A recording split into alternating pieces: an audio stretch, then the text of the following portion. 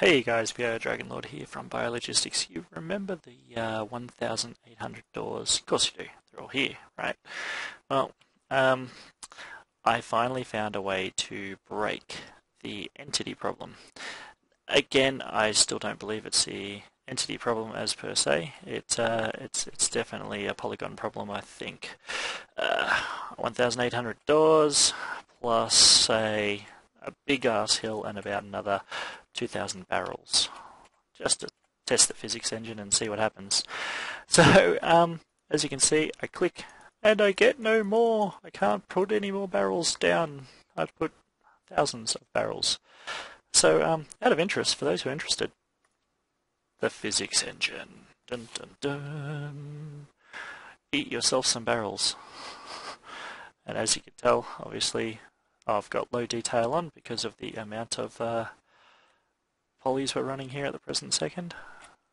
Oh, there goes a ton of barrels falling through my floor. Um, there they go, there's the rest of them, tumbling down the hill.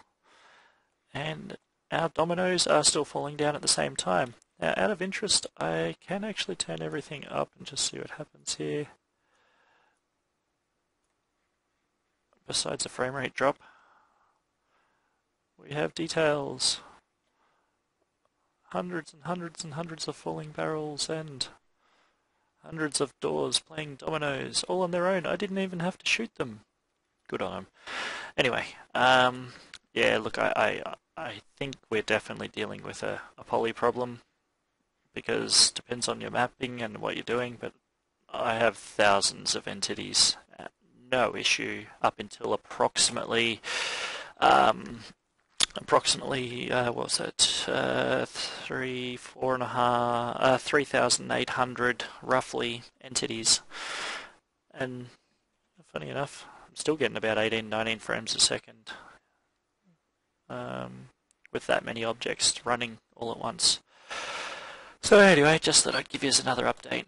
It's raining barrels. Cheers guys